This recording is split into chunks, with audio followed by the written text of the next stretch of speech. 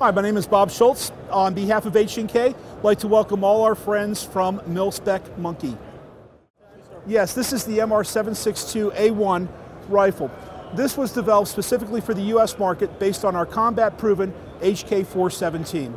Starting from the muzzle, I'd like you to introduce you to some of the features. First of all, we have a 16 and a half inch cold hammer forged free-floating barrel.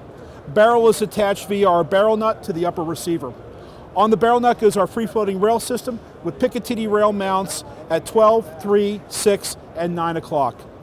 Moving back to the lower receiver, the magazine is fed from either a 20 or a 10 round detachable box magazine made out of high impact polymer material. Magazine release button releases the magazine, allows it to disengage. As far as the operating controls, we have ambidextrous selector levers on both the left and the right hand sides of the receiver. We also have the ability to mount the locking latch right over here on the charging handle, either on the left or the right hand side for ambidextrous operation. Forward assist behind our extended cartridge case deflector, and also to promote accuracy, what we've done is we have spring-loaded detents on both the front and rear takedown pins. This eliminates the play or the slot between the two surfaces, the upper and lower receiver. Again, it promotes better accuracy. We have a proprietary H&K buttstock that has interchangeable recoil pads, either concave or convex.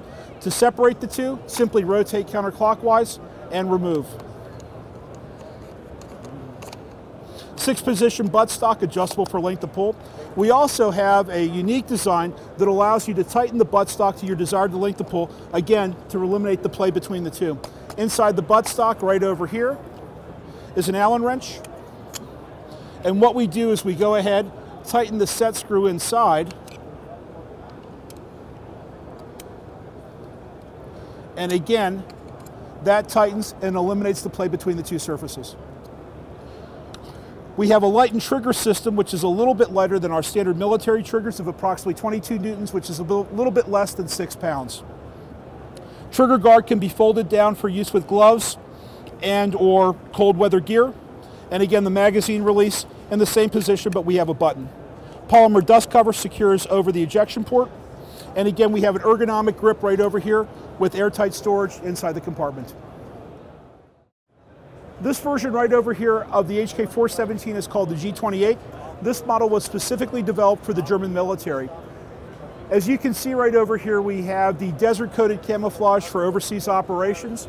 We have a longer barrel, we have a redesigned flash hider, as well as a redesigned gas regulator that helps ensure optimum performance when a Brugger and Thomet suppressor is attached via to the flash hider.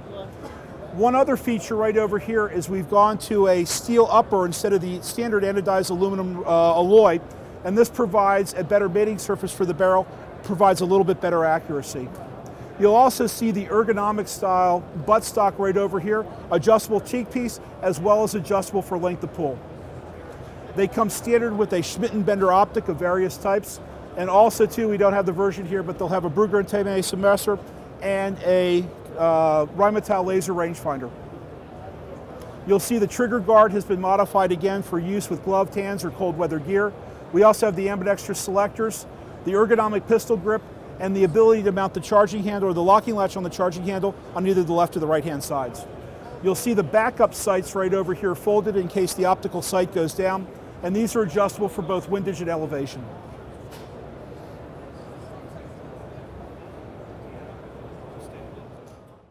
On behalf of H&K, I'd like to thank you for watching our little display. And if you have any uh, requests for information, please contact H&K.